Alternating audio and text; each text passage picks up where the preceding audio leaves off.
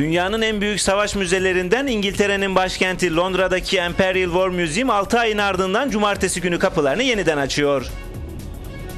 Birinci Dünya Savaşı'nın başlangıcının 100. yıl dönümünde açılacak müze birbirinden çarpıcı 1300 sergiye ev sahipliği yapıyor.